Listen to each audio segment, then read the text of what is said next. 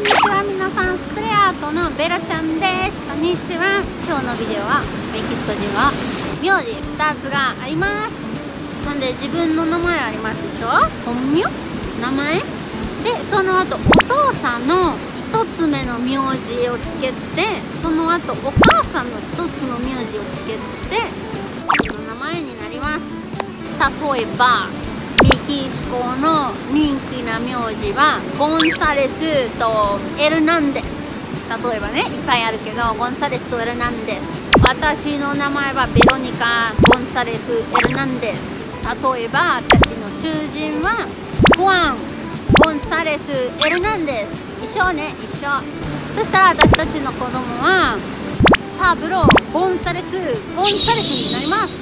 みんながわからないどれが名前どれは名字なんででいつも説明しないといけないです。面白いと思ったらコメントしてください。高評価と登録チャンネルもよろしくお願いします。じゃあまたね。バイバイ。